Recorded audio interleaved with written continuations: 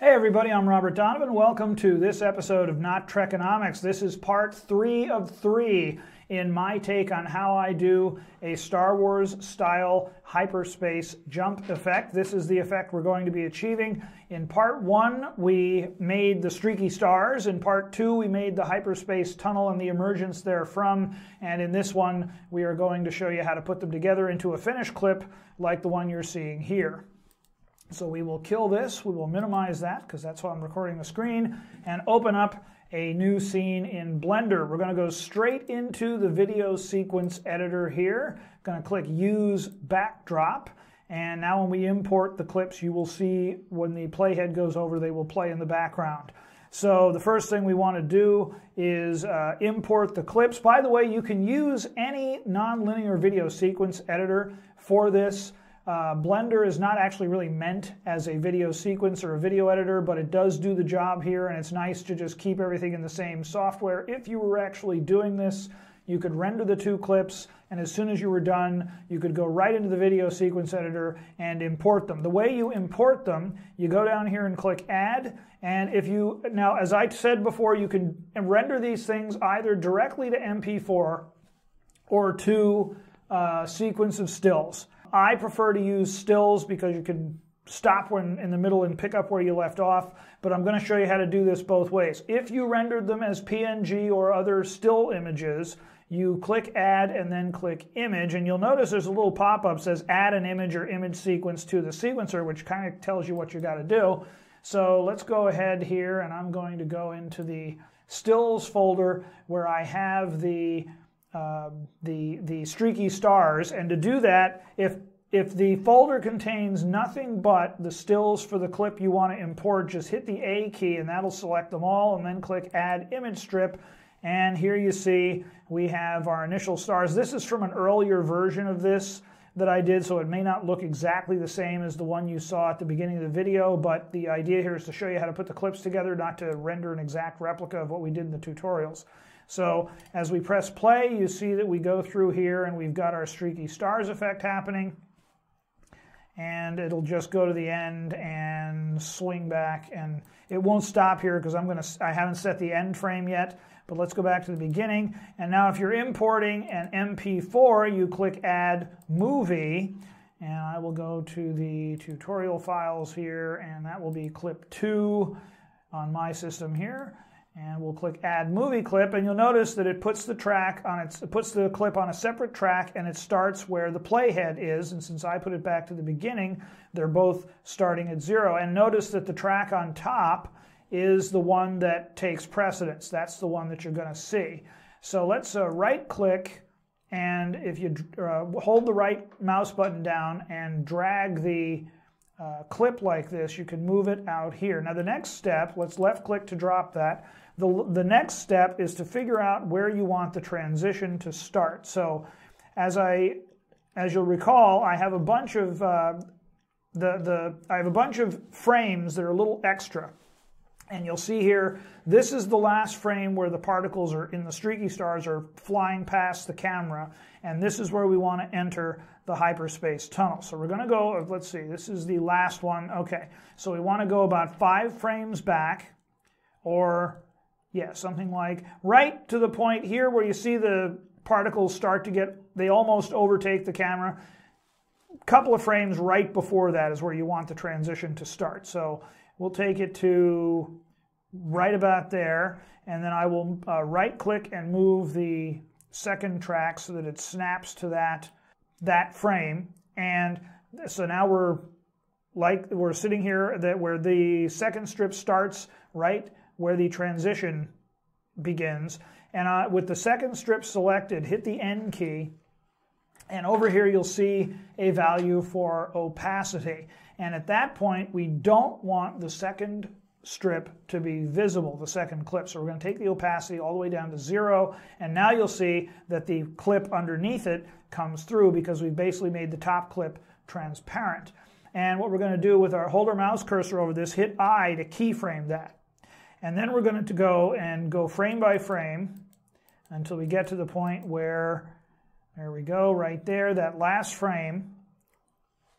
We want to uh, that's the frame where we want to be fully opaque on that second strip. So we're going to take the opacity, this in my case is frame 93, we're going to take it all the way up to 1 for the opacity and then hit the I key again to keyframe that. And so now what we have, if we go back and press play from the beginning, you'll see that we have the streaky stars effect happening here and it continues. And it's a little slow because we're rendering as we go, but now it just fades right into that streaky, the streaky stars fades right into the, the second clip and we'll see that again here. Right as it gets there, it's coming in and it just fades right into it as you go through. So it looks like you're flying through the portal into the hyperspace and then coming back out again. So the last thing we want to do to tidy this up before we render it is we want to figure out where our end frame has to be. And that's going to be at the very end of this. We'll just do this frame by frame until we get to where we need to be.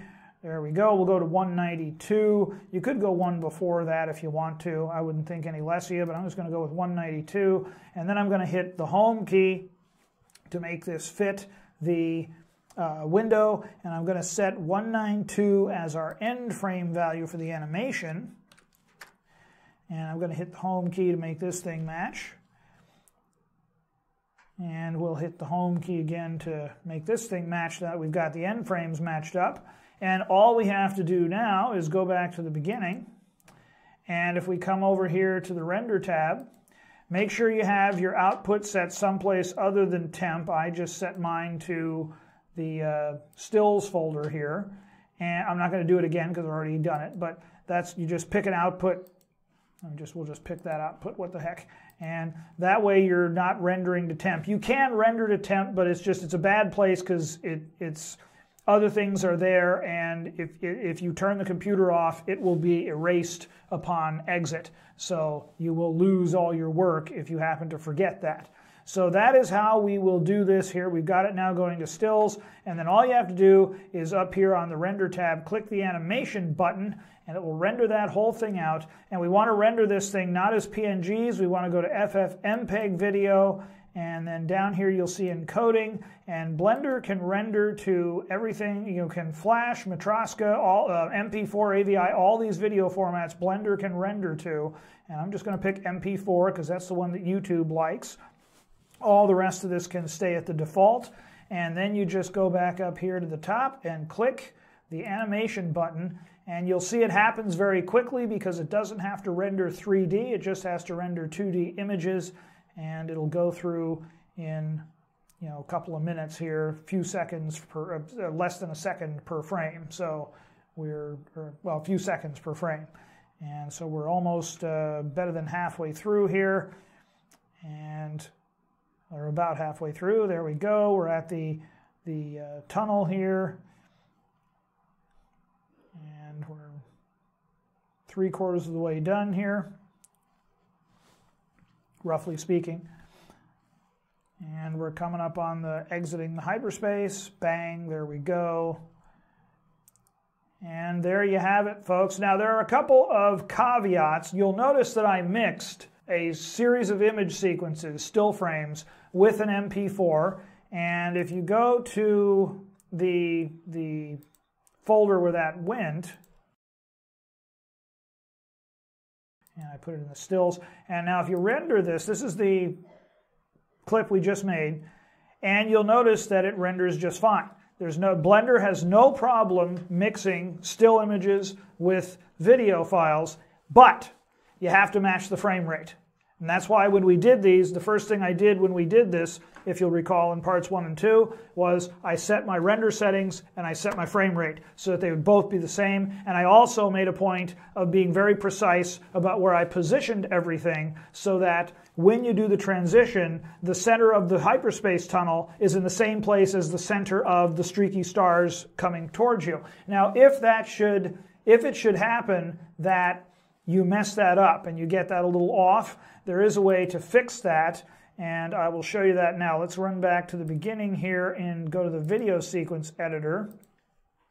And if you go down here and uh, you will see there's a, uh, a setting here called image offset and or I'm sorry, uh, and you can you can click the image offset and actually move the center of the image as it is displayed and adjust the time. So if you need to do that, you can play with these X and Y values to get the centers in the right place so that everything transitions properly and looks right when it does.